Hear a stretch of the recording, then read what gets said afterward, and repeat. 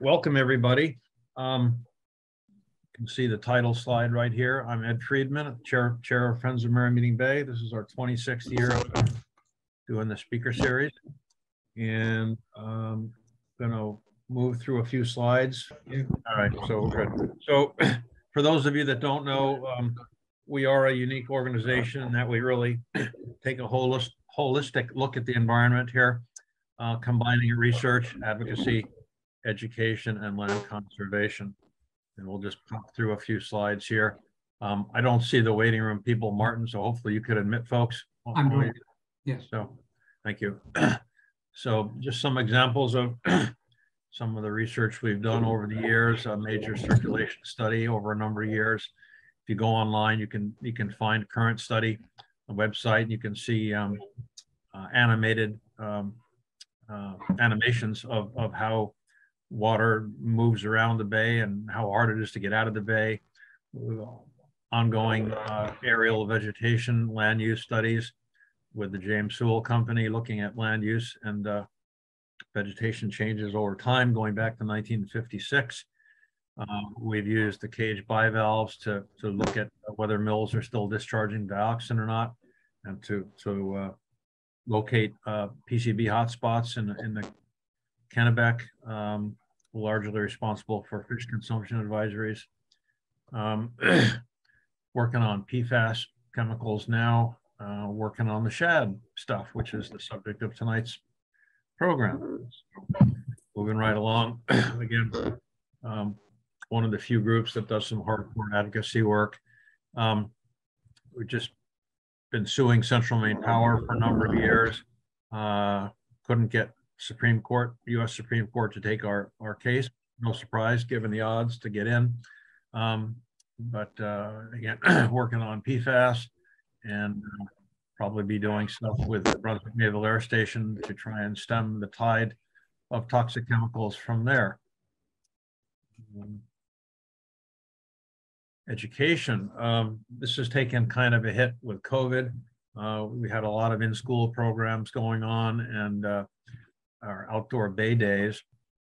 Uh, lots of volunteers, usually 40, 50 volunteers taking part it. Uh, what we have done is now we're in the second year of working with a, a school, Bowden, Bo, uh, Bowdoin uh, Community School. Last year was Bowdoinham and Bowden, and and a theater group. So we are we are still working on this. this current series is someone's making a lot of background noise there. I'd say if you're not talking, maybe you can mute yourself. Is that, is that John? Maybe. Thank you. Um, yeah. So we are we. This is education. We are working with kids still.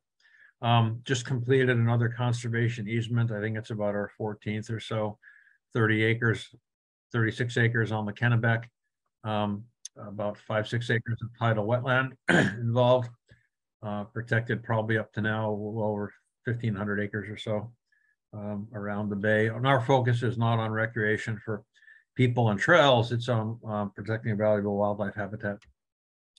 If you know of someone who couldn't make it tonight, um, and they and you want them to see the program, we do record these. And uh, if you go to our homepage down here under education, you'll see a video list. And within a probably a couple days or so, we'll have this posted there. And there's lots of others going back to I think 2010. Um, series for this year. Um, I'll point out that that the next uh, next one here, Mauricio Handler is a sort of National Geographic uh, uh, caliber BBC uh, cinematographer, mostly underwater, but he's been working on them. And he's if anyone saw the program on Patagonia on um, was it uh, CNN maybe? Um, he did a lot of the filming in that. Um, he lives in Durham and he's been working with his wife for a number of years on a film about Maine and this is going to be an intro to that arrivals like the horseshoe crabs, like the herring, like the elvers, etc. So it should be really good. And then uh, Will, Will Stolzenberg in January, where the wild things are, uh, what's happened to our predators. So moving right along, I'm going to introduce our speakers tonight and then turn the screen over to them. But first, I do want to um, say a couple of things. If you've got questions during the program, please use the chat button down at the bottom of your screen or wherever your toolbar is. I think it can move around on the screen.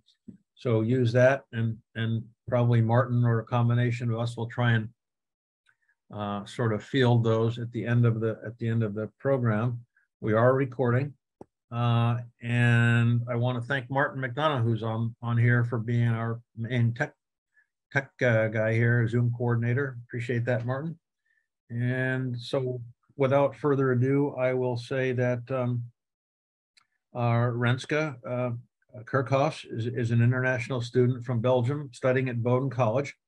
She's currently a junior and studying biology and Asian studies and going off to China this next term, if I if I remember correctly. Um, she's participating in Bowdoin's marine science semester and in the spring planning to go, oh, let's go to China. So um, she's interested in marine ecology and animal rehabilitation. And after her time with us working on shad this last spring, on weekends, she was interning at the Maine Wildlife Park. And I don't know if she still is doing that or not now that school's going. Um, John Lichter, our other presenter, is a professor emeritus of biology and environmental studies at Bowdoin College. And he's a former director of Bowdoin's environmental studies program and spent about 18 years studying the ecology and environmental history of Merrymeeting Bay with students and various collaborators uh, like us. Um, um, and, and, I will say of, of, all these sort of environmental professors over there, John's been about the only one to focus on the Bay and we really appreciate that.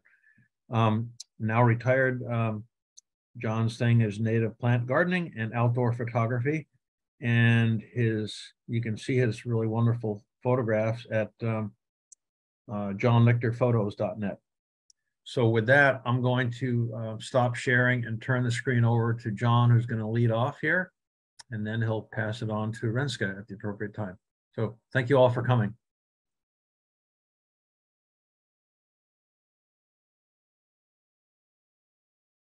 And John, you're up. John. John, you're mute. You're still muted, so you want to.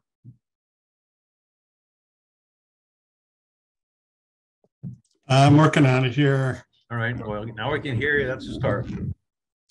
Okay, go back over here. You're gonna, you're go to, go share, share screen.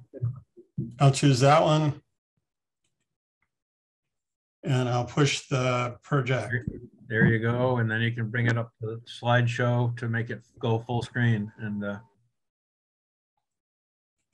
uh, no, what? I was at the end, like just like you oh, were. Like I did. That was quick. Yeah. Great show, John. Here we go.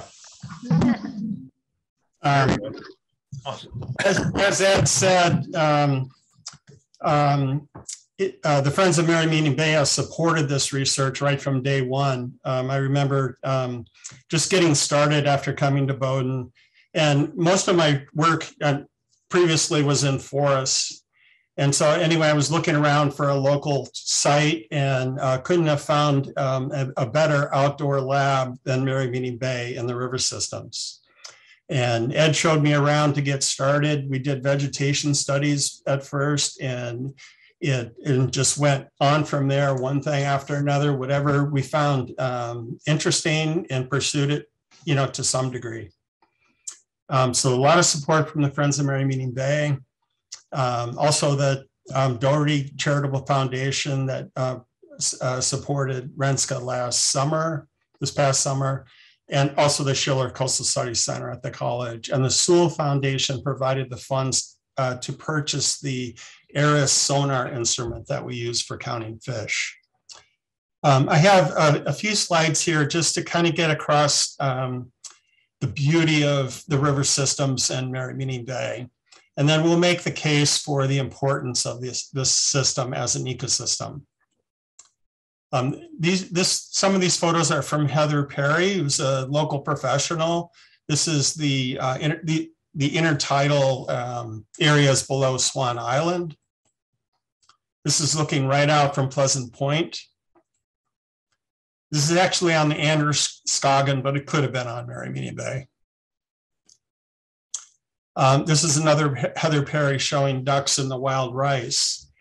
Um, one so one thing we did um, was to look at all the documentary uh, historical information and papers that we could find on Merrymeeting Bay.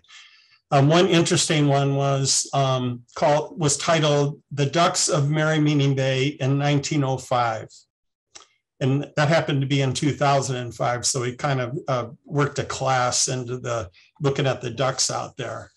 And anyway, this paper um, was in the Maine Ornithological um, Journal. Um, it described um, a, a, flock of black ducks that ran from the chops past Brick Island all the way to the mouth of the Cathance. Um, well over a mile long, one flock of black ducks on Merrymeeting Bay, up to it was like in a ribbon, uh, possibly you know 50 to 75 yards wide. And so there was a you know 10, 20, 30,000 ducks in one flock back at that time. So it's really quite an ecosystem. And of course, the, the uh, ducks and, and geese and so forth are coming in for the wild rice and other plants. It's a major uh, migration stop. This is another of Heather's um, photos of uh, short nose. And these are some that we um, that I shot from mm-hmm. Brunswick um, Topsham. When the week we were uh, or started um, our survey on the shad, there were so many sturgeon jumping uh, the first day we went out there that I mean, I mean, there were literally dozens of jumps in the time, a couple hours. So it appears that Atlantic sturgeon and short-nosed sturgeon are doing very well um, recovering. Um, I've worked with students, many students over the years. Um, this is Lucy Van Hook with the snapper. Um, a lot of the work was um, dealing with uh, small fish with so the beach seines, and I'll explain the reason for that. Um, this, um, can you see the pointer or not? Yes. Okay. Um, this lower one, we're um, transplanting uh, native plants to see if we, you know, if transplants would work. It was an experiment, and I'll talk a bit about that too. Okay, so um, again, we looked at the vegetation, both emergent and submerged vegetation, um, different um, animal species, mussels, snapping turtles, and then a lot on fish. Also, just the environmental history. Um, we did a, a, a fairly uh, substantial study looking at the sedimentary record in Merrymeeting Bay. This is one of my research colleagues, Theo Willis, with uh, one of my classes um, he's showing them how to regurgitate the stomach contents out of a smallmouth bass so we can see what the bass were eating. Um, one thing these all of these Bowdoin students, at least in the, those in Mary Merrymeeting Bay, they got to understand what real mud is like. That's something uh, Renske hasn't hasn't um, experienced yet, but maybe she still will. Um, again, this is beach seining for small fish. Okay. Um, this is a just kind of a cartoon or diagram of a marine food web. And so just to kind of think about this in a, in a broad way, have primary producers, uh, phytoplankton and aquatic plants and so forth, which are um, gather, you know, they're taking in photo, uh, CO2, photosynth uh, photosynthesizing and nutrients and so forth. The, the first layer then is the things that eat them. And then again, uh, small things that eat the things that eat these. Okay, so one question, if we just start and think about this from first principles, we are basically fertilizing the planet with things that plants need to grow, like carbon dioxide, for instance. Also, in a lot of places, nitrogen and phosphorus. Okay, any river system has far more nitrogen and likely more phosphorus than it ever had uh, prior to industrialization. Okay, so why is it then that we're the upper levels, other than um, overfishing? I mean, there's examples of things we don't fish for anymore, but the populations are coming back, or at least haven't. So if you think we're we're adding to the bottom of the food web, you know, why isn't it traveling up to the top? And it could very well be that, well, one of these layers is just a bottleneck. And so that's uh, the idea. If you see at this first carnivorous consumers level, juvenile stages of fish and small fish and so forth. So these, these are the um, animals that take plankton and make fish tissue out of it. And so if the, our hypothesis is that's a bottleneck and it's actually influencing um, everything above it. So even though we're fertilizing the hell out of the base of this thing, all this energy and material can't go all the way up the food web if there's a bottleneck in the middle of it. Okay, this is this is a just a, a um, kind of a cartoon of it. This is what it really looks like. Uh, and if you notice this, it says at the bottom here, a simplified food web for the Northwest Atlantic. Okay, it doesn't, it, it's simplified, but it's definitely not simple. This complexity um, is, you know, as a scientific topic, it's, it's daunting. And it really demands humility on our part because it is uh, something this complex, it is impossible for us to understand if we, you know, if we hit one species, what the cascading effects of that might be. So for instance, like if we knock alewives out of this, it could have effects going up and it could have effects on things that alewives were eating, dramatic, dramatic effects.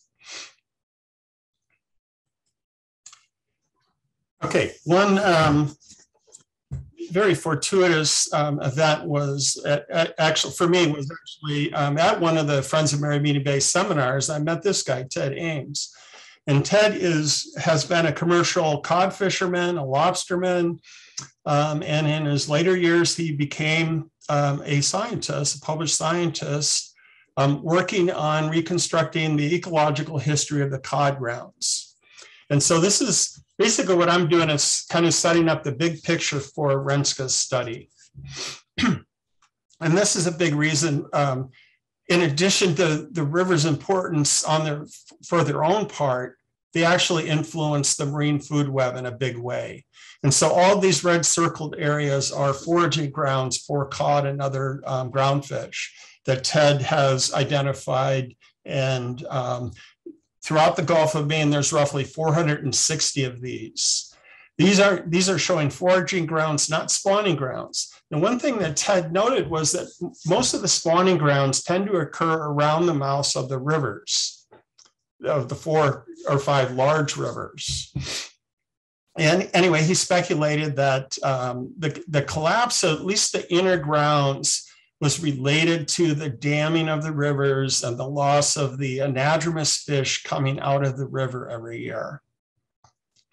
And, and so anyway, I got to, I got with him and we started, you know, thinking about this, what the consequences of this were, would be and so on, and actually documenting it.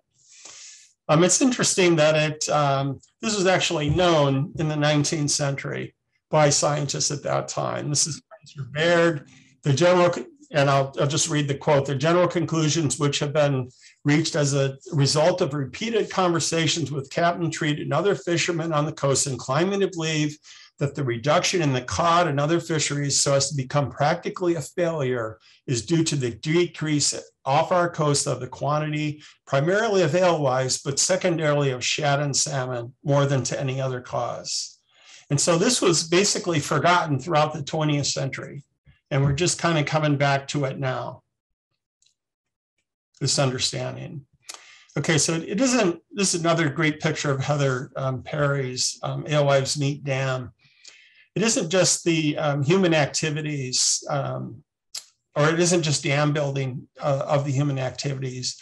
Um, a lot of our, you know, just looking through the documentary evidence, we see, you know, some evidence for overfishing as early as 1710 the 17 teens.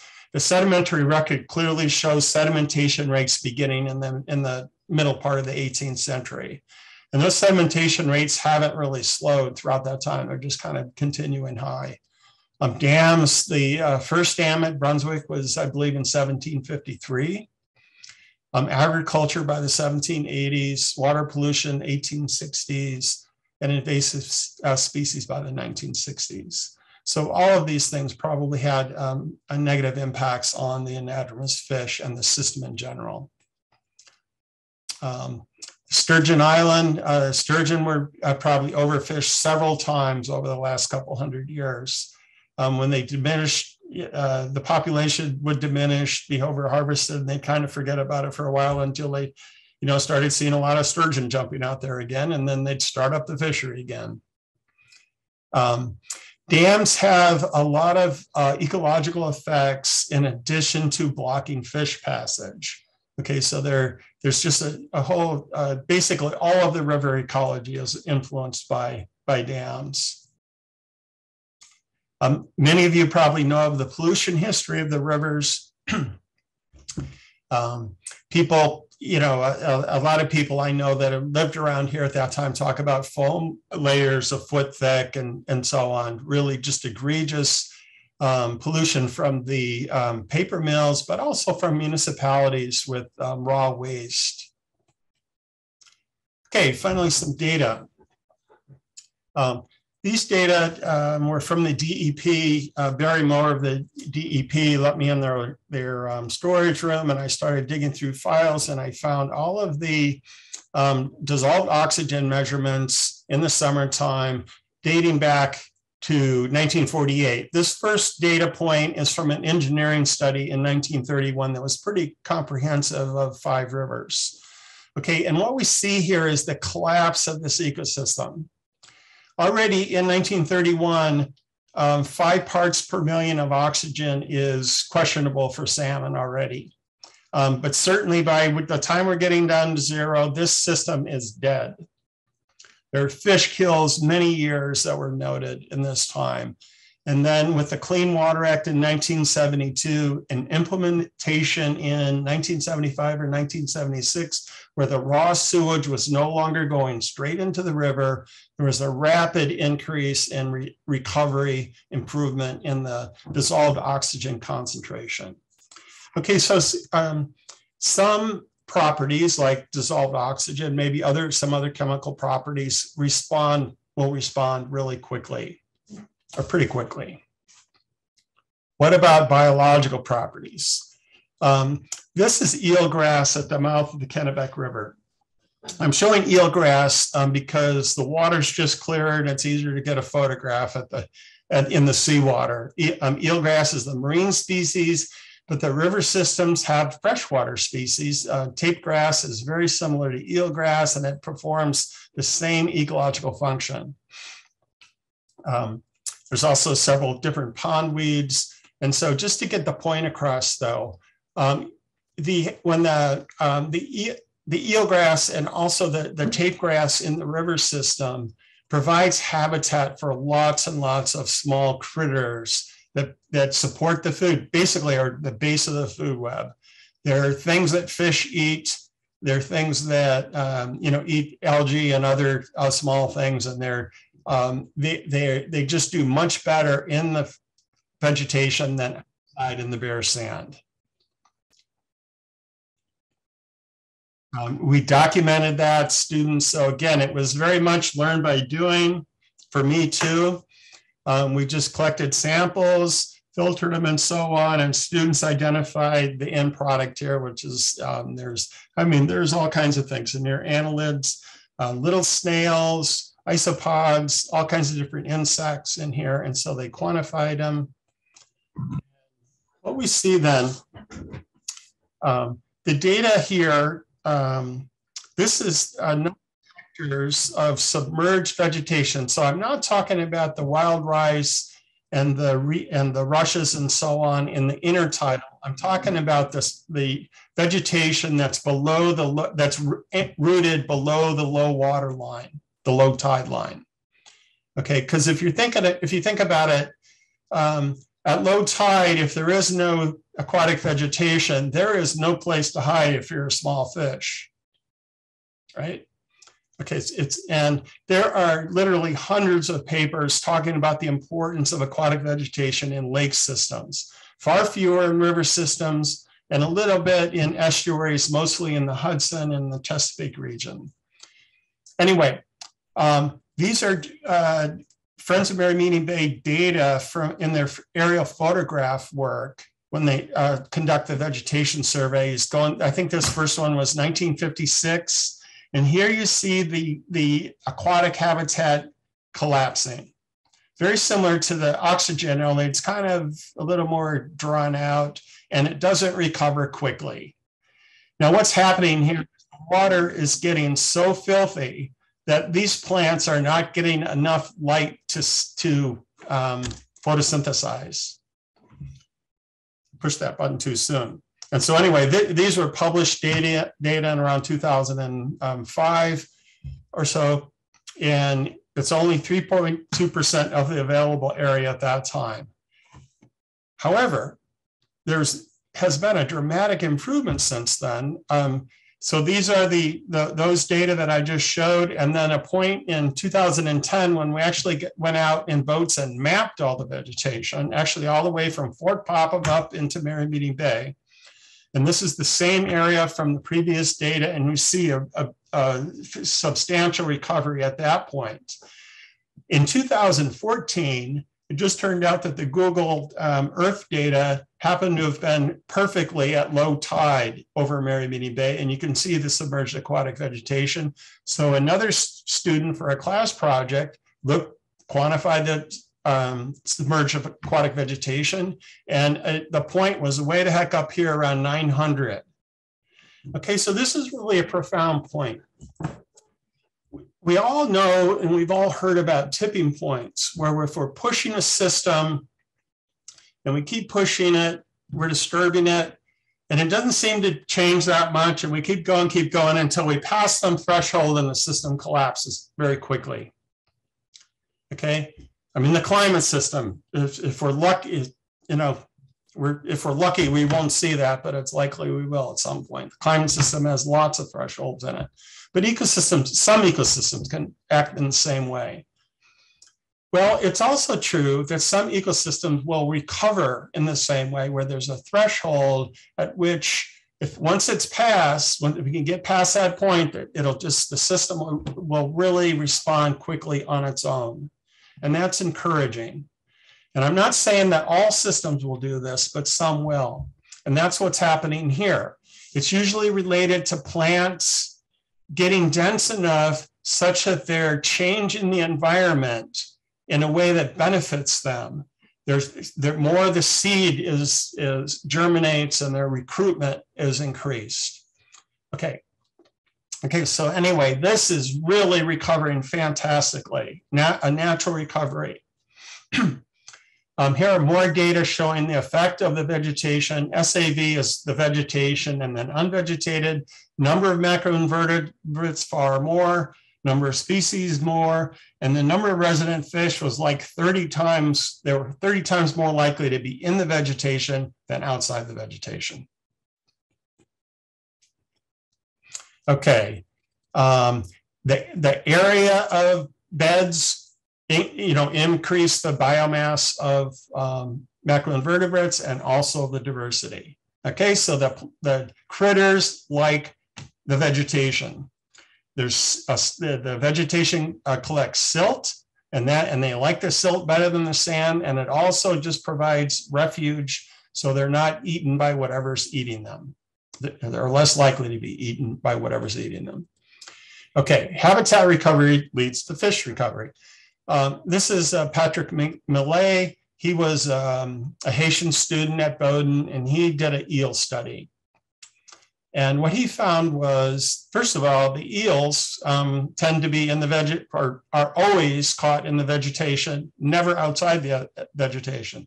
Apparently, eels know a lot about striped bass. And that's why they're in the vegetation.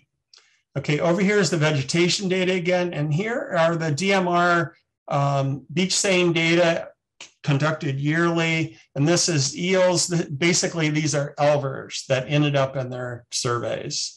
And we see over this time period from 1985 to 2010, the period when the vegetation's recovering very quickly, the eel that population is just showing the beginnings of a recovery there. Now, the data are very messy like this. This is always the case when you're dealing with animals in relic popul, you know, just very small populations because it's hit or miss when you sample all the time, whether you get them or not. But anyway, this is encouraging. Okay, so just so far, the river is recovering dramatically its its um, ecosystem, its ecological function, uh, and it's just really a matter of the pollution being stopped. And so, in a lot of ways, if you know, if we get out of the way, nature will do it on her own. Some ways that's not true. Okay, we can't actually wait for nature to erode the dams away. We're going to have to figure out something to do there. This is Nate Gray, a DMR biologist and also a board member of um, the Friends of Merrymeeting Bay. This is Lynn Lewis, a research colleague of mine from, she's from Bates. And this is uh, data for, of Nate's that um, show passage of river herring, that's alewives and blueback herring, going up the Sebasticook. Um, the Edwards Dam was uh, removed in 1999. That didn't help that much, but the Fort Halifax Dam was removed in 2008. And then there were fish lifts were placed, installed on each of the three dams leading up to the lake. And so you see a very dramatic recovery. This is probably the premier example of fish restoration in the world right now. Up to he had over 5 million fish pass one year. And he's been pretty much between two and four million since then. We haven't updated this graph yet. Okay, now what? Why is this important? Again, this is um, uh, this is a study from a master's uh, degree, Carolyn Hall, and what she did was to calculate the number, the original number of alewives getting to lakes and spawning before there were any dams. She used DMR data based on just how many um, alewives can be support, supported per acre of lake. And there were roughly four and a half or five million on the Andro, 20 million on the Kennebec, 32 on the Penobscot, and 25 or so on the St. Croix. Now, just to make a point, that adds up to 81.5 million adult alewives. Um, let's say half of them are females, that's 40 million. Each female has 125,000 eggs. That's 5.1 times 10 to the 12th eggs we're starting with. That's 5.1 trillion eggs. Now, a trillion of something physical that you hold in your hand is a lot of them. I mean, we, we get to hearing about the, you know, the national debt and things like that that are in the trillions and so forth, but actually a trillion is a lot of something. Assuming 1% survival, that's uh, 5.1 times 10 to the 10th. That's 50 billion little fish leaving with only 1% survival of, you know, from eggs to little fi juvenile fish. Those little juvenile fish weigh a gram. They're like four centimeters long, but there's a 5.1 billion, billion or 51 billion of them. That's 51,000 uh, metric tons of fish biomass leaving the river systems and entering the Gulf of Maine every year. And that's why, in Ted Ames's view and mine, that's why there were so many cod in coastal waters originally, because there was a heck of a lot of food for them to eat. And by the way, cod are they'll eat just about anything that's in front of them, but they are they are built and evolved to eat fish. Um, now, how did Nate and others, um, you know, do this with fish lifts? This is the bucket on the the first lift on at Benton Falls. Um, I got a little video to show how this works. So this is a kind of industrial scale uh, project, um, not cheap. Um, I don't know if it work would work at Brunswick, but it might. I shut the sound off, but you can hear that's a this is um, bucket of water is really heavy, so this is a, a substantial a winch system lifting it up. Um, Nate says there's about 1,500 alewives in each bucket.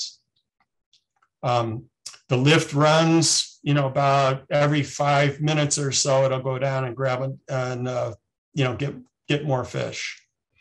The fish go into the bucket because the water's um, directed through it and they're going against the current, you know, into the bucket. He gets some shad in there, but not many really. Um, alewives come first and then blueback.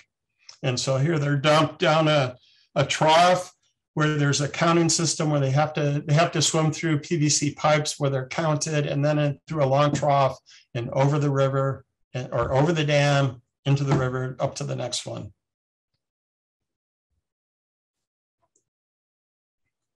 Okay, one more, oops, one more slide, and then I'll turn it over to Renske. Just to summarize, um, Maine's rivers and estuaries historically played an important role in supporting the marine food web. Whereas recovery of physical and chemical properties of the rivers can occur pretty quickly, recovery of the biological or the ecological components typically requires decades. That's just how it is and there's not a lot you can i mean you can speed it up maybe like for instance our transplant experiment would have been meant to speed it up but it turns out that it was happening so fast we didn't need to worry about it okay even before the nearshore cod populations were overfished beginning in the 1880s or so dam building and changes on the land were undermining the marine food web on which cod and other groundfish depended this is a profound point because there's areas on the coast of Maine, um, up uh, mostly down east, where cod just haven't been recovering. There's no fishing for them. It's because there's no there's not enough food for them to eat, even though there's plenty of lobsters up and down the coast of Maine. They need they need um, uh, alewives and blueback herring and shad and so on. And so it may very well be if we really want a cod fishery, you know, that's anything that looked like what it was originally, or even a portion of that, we have to open the rivers up. And okay, in terms of anadromous fish production, Maine's rivers are far from their potential, but they're improving. Access to upriver spawning habitat remains a main major obstacle to further recovery. Now there has, of course, there has been a lot of work on the Penobscot and the St. Croix to get fish passage going. Okay, um, I am going to unshare, stop share, and allow um, Renske to put her file slides up. Yeah.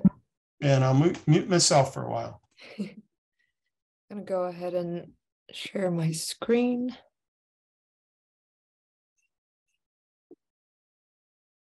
Okay, is everyone is everybody able to see that?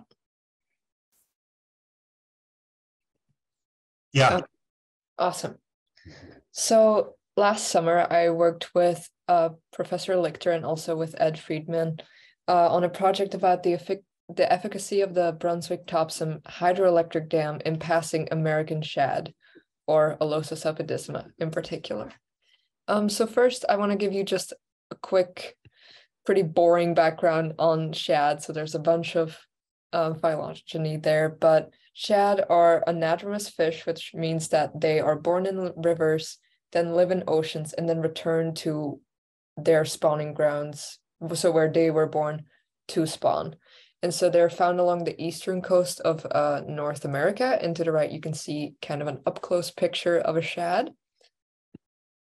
So, in terms of environmental importance, the shad that come up the river actually do not feed when they are in the river to spawn but they do provide food to a lot of different species, including striped bass and harbor seals. And when they are out in the ocean, they feed on plankton, crustaceans, and other small fishes.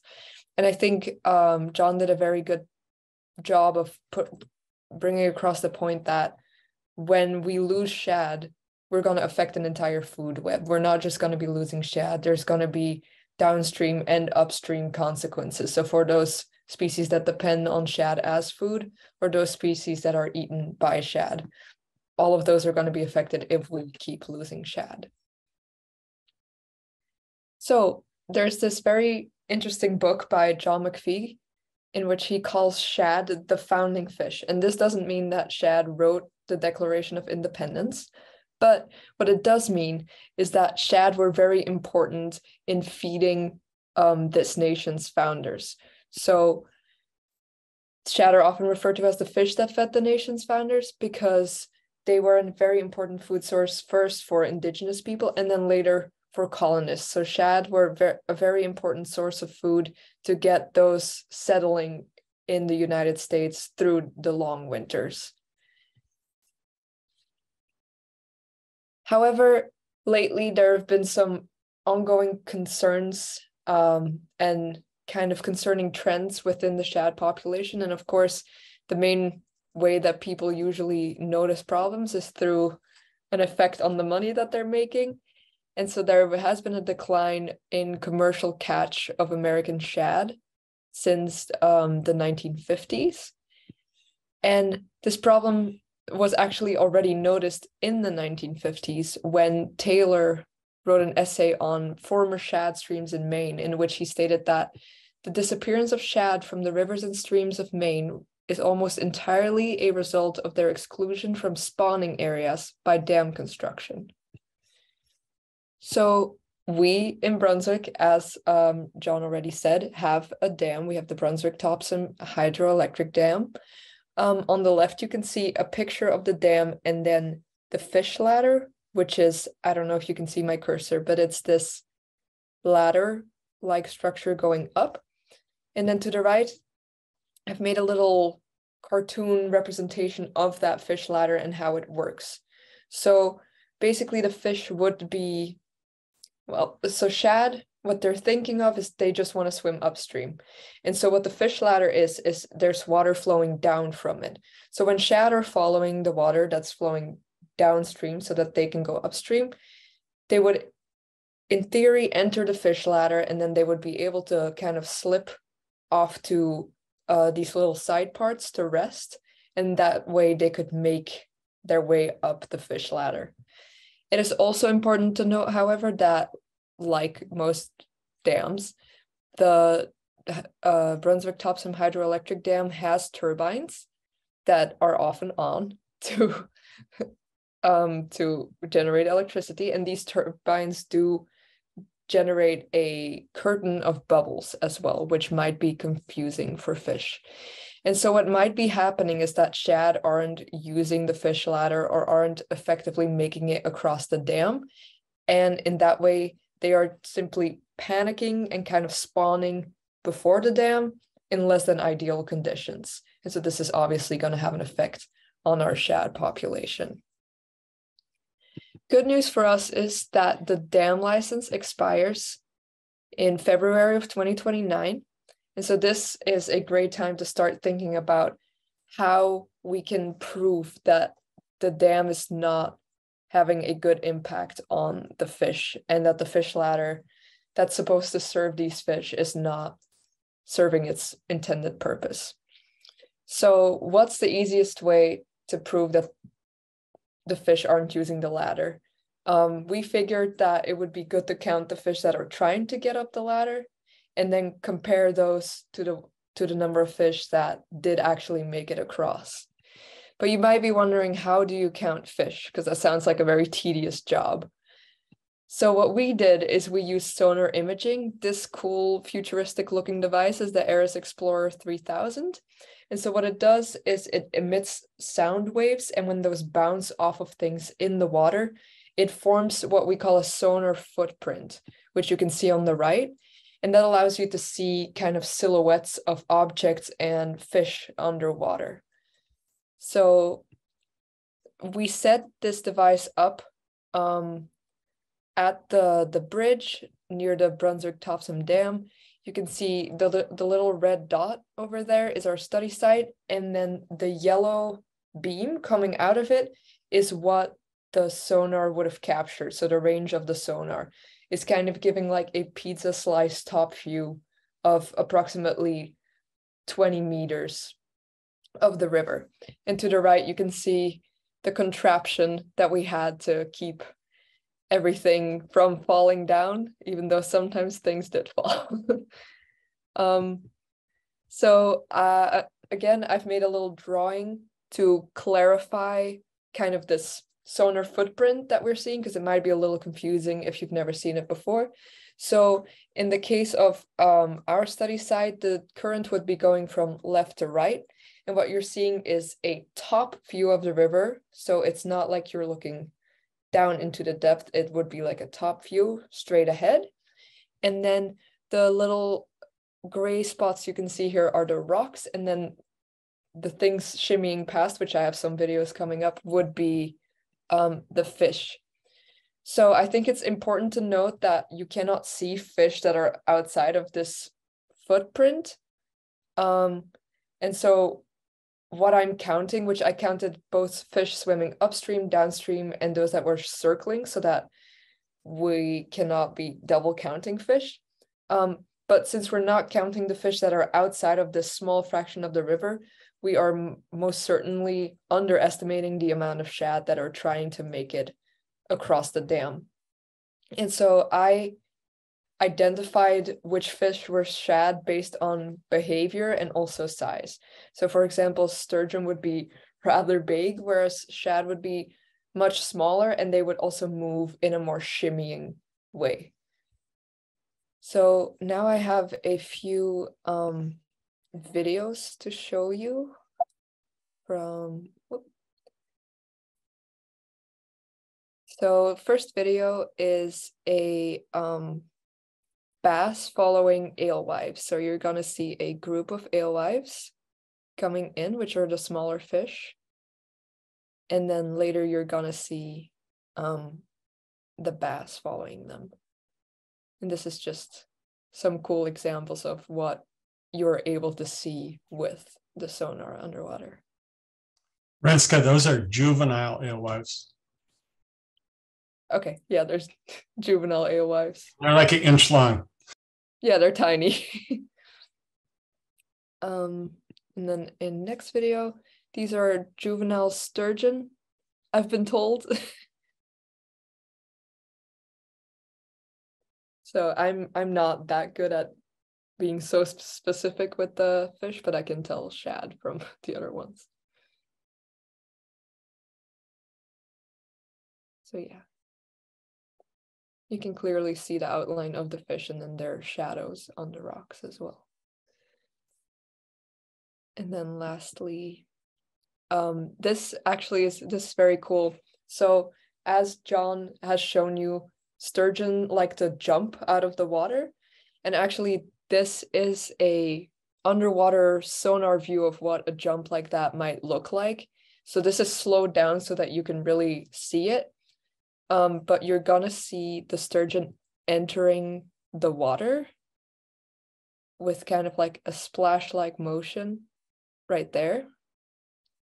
So that's the sturgeon entering the water again. And then of course I had to also include a above water view of this, which is a video that uh, John took, which is very cool we had we were very fortunate. We got to see a lot of sturgeon jump over the summer.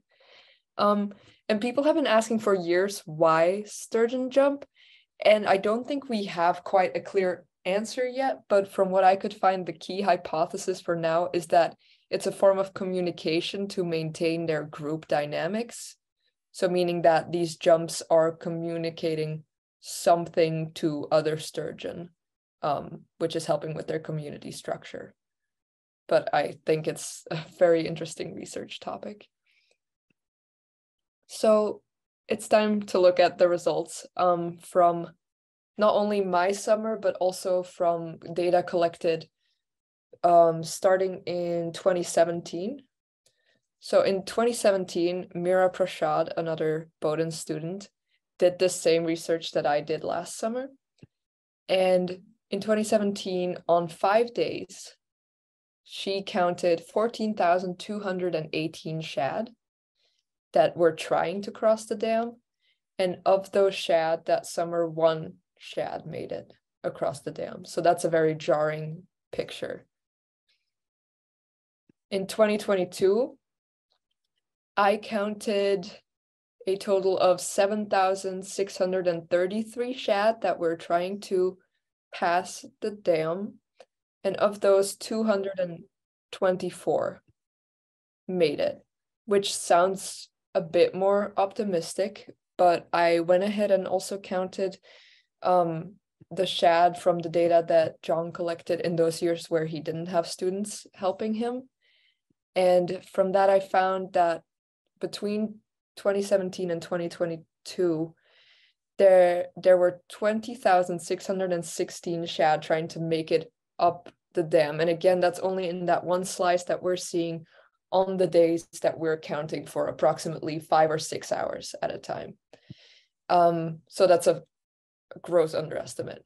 And of those shad that were trying to make it up, in total, 897 made it.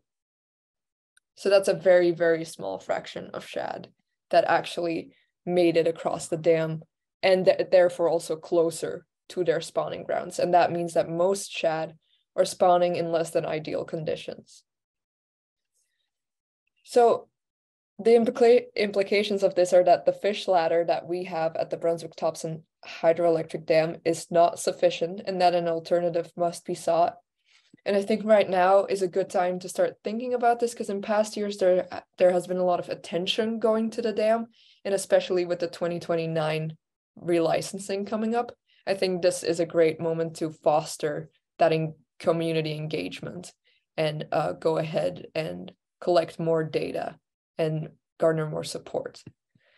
Um, so what is wrong with the fish ladder? Of course, it's hard to tell for sure, but we do know that salmon and shad are getting beat up as they're trying to use the fish ladder. And additionally, the proximity of the fish ladder to the turbines might be one of the reasons that some fish don't really make it to the fish ladder. Maybe they are seeing the curtain of bubbles that the turbines create and they think that that is upstream and so they head in that direction. So those are two possibilities.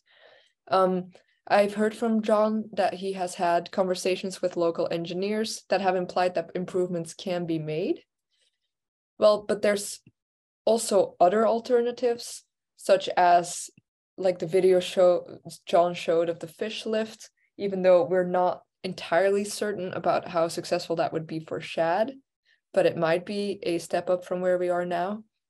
Of course, ideally, a removal of the dam would be great. However, it is also then important to think about what would happen after because there's obviously more dams upstream. But this dam could be a good um, example and a good first step in the right direction.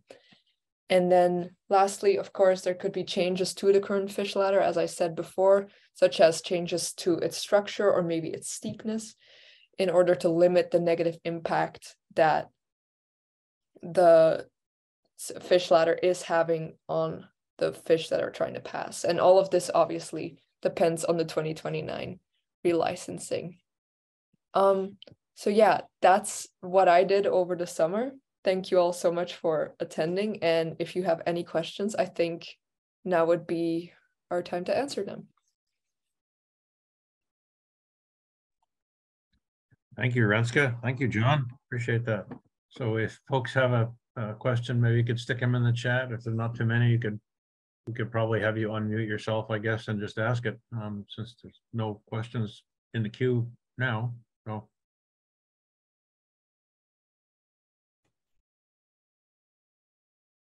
You guys did such a good job. There are no questions. Everybody's stunned. Yeah.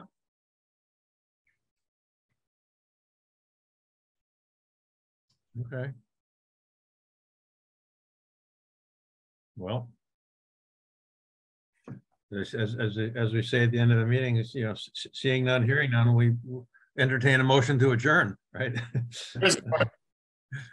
so, um, oh, there's one. Okay, yeah. There was one about a successful fish ladder. Um, I guess from what I, no, I mean, I'm definitely not uh, an expert on dams and fish ladders, but um, I guess it's what you, what you mean by success. Um, the Andro, um, it's, I mean, it would, most people would, would consider that it works for alewives um, because a couple hundred thousand of them get up there and, and pass every year. Um, however, you, you, saw from the data from Carolyn Hall that the the river originally supported like four and a half mil to five million, which is a lot more than a couple hundred thousand. So I don't know that the ladder, I don't know that any ladder is going to work that well. And alewives are really terrific uh, swimmers too. It's amazing what they'll uh, swim up against. So that's a good question. I, I, think there's a few issues there too. I think, you know, the the Benton Falls fish lift works pretty well, but it's still a mechanical thing and it takes a lot of frigging around with. Um, the issues are the mechanical pieces of it, the uh, attraction flow, attraction flow, you know, literally being that for the fish, they'd want to go upstream. That confusion or uh, um, um, uh, differentiation from nearby turbines as Renske mentioned with the bubbles. Um, and as flow levels change in the river, you've got to adjust the lift or the flows coming down through the fish ladder, either one. So they're all really poor substitutes for not having a dam there. And they've also found in the last probably 10 years that any more than three dams on a river and the fish, particularly Atlantic salmon, really take a hit.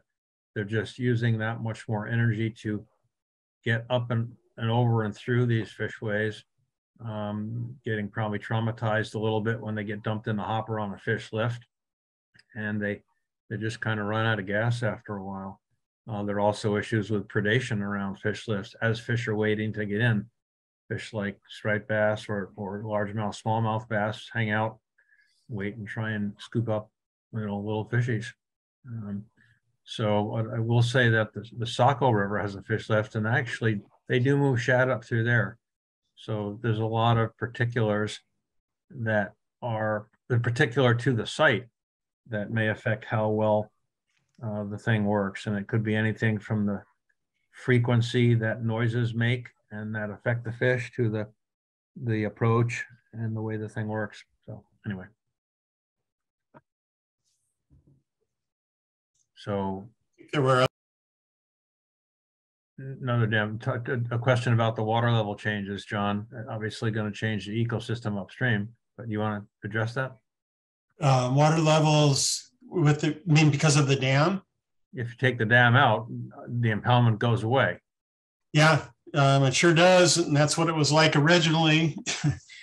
and that's what rivers are supposed to do. They're supposed to get really full in the spring and they dry up in the summer. That and that variability is like all of these organisms evolved with that kind of variability. We'd probably um, get a lot of um, organisms back with it.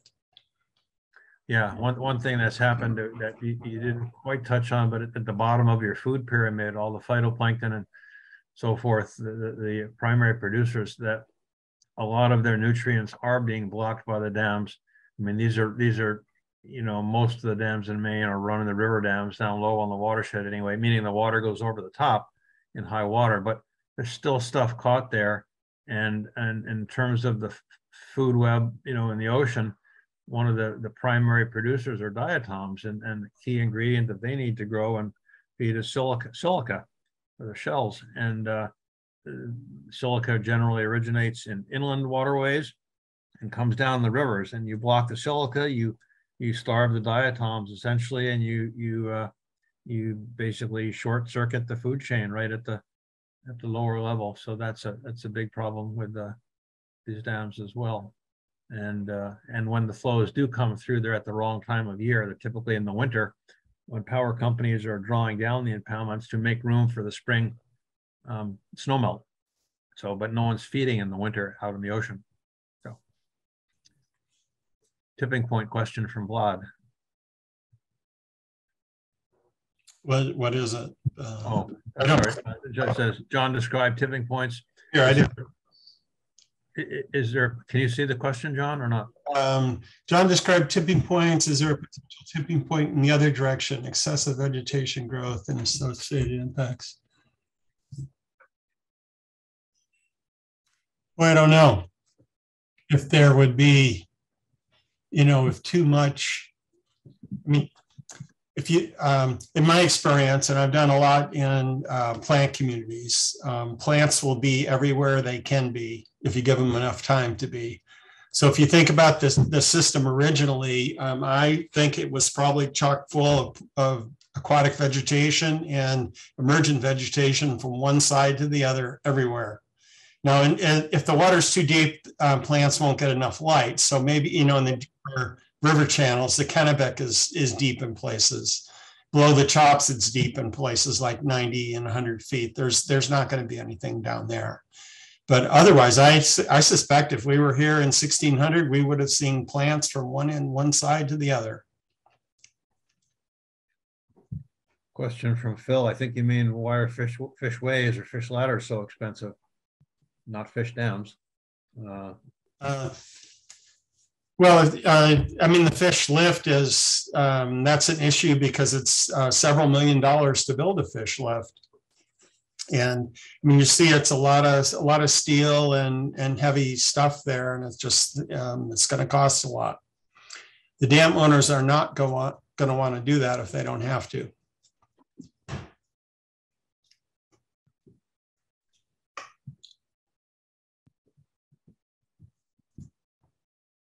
Um,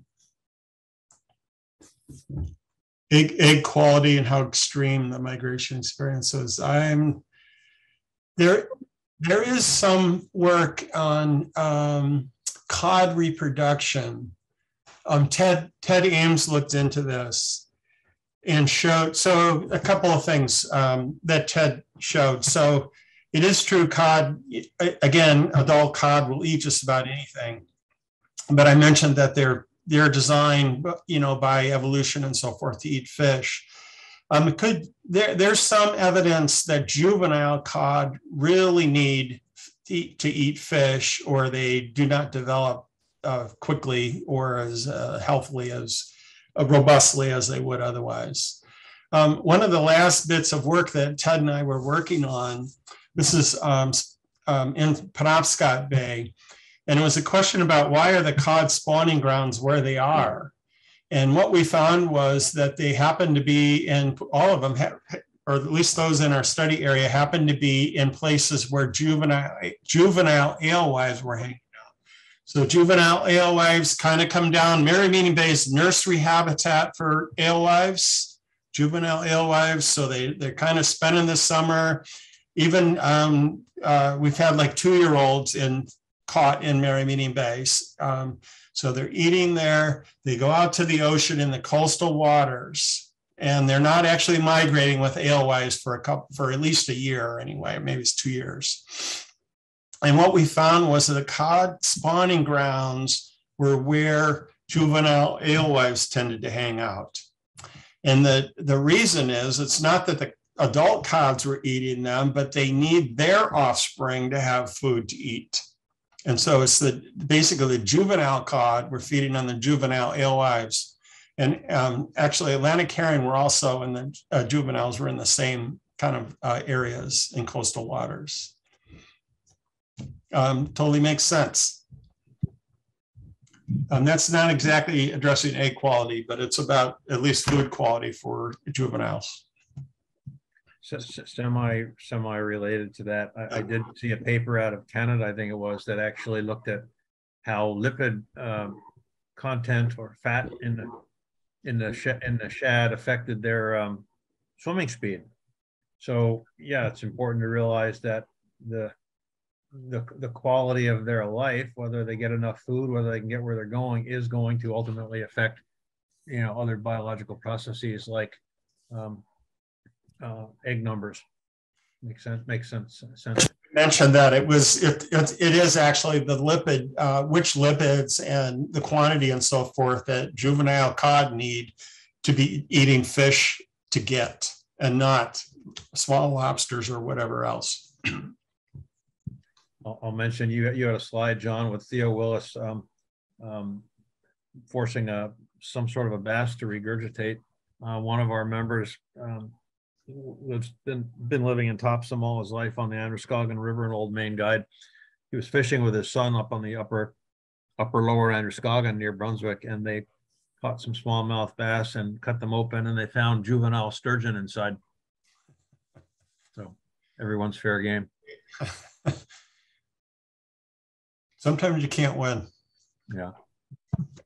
So yeah, do we put yeah, or, are we going to push to remove the Brunswick Topsham dam? Yeah, um, I think that will certainly be on the table. Um, unlikely. That is a relatively big producer of kilowatts for uh, now Brookfield. It was it was a Central Maine Power Dam, um, but yeah, that's certainly one one option. Um, this is a high profile dam, as you know, Jim, and there'll be a lot of people on this, a lot of NGOs on this, and uh, you know, first dam on the river is always a good target for for removal.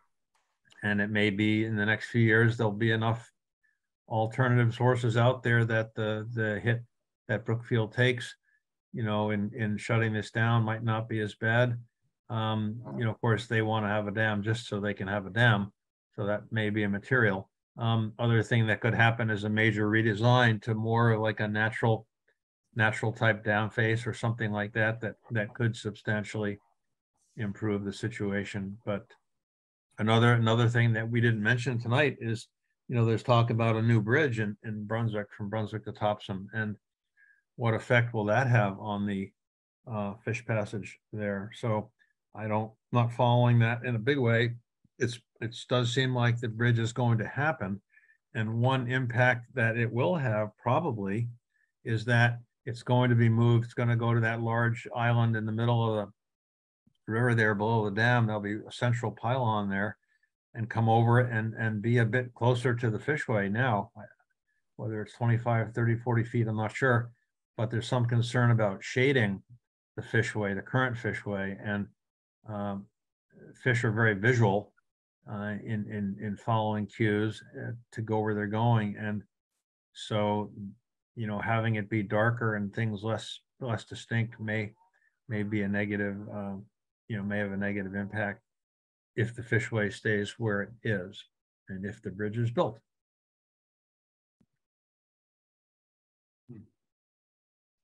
Okay. Anything else? If, if nothing else, I think we'll, uh, we'll call it an evening. I want to thank, thank you, John and Renske, again, very much for your work. Great presentation. Thank you all for coming and, uh, thanks to Martin again for, for handling the tech side of things. Uh, and remind folks that, uh, this event happens the second Wednesday of every month, October through May. We will have one exception in February this year, but uh, next one is December 14th and hope you can tune in there for some outrageous underwater um, cinematography and, and work that Mauricio's been doing. Thank you all very much.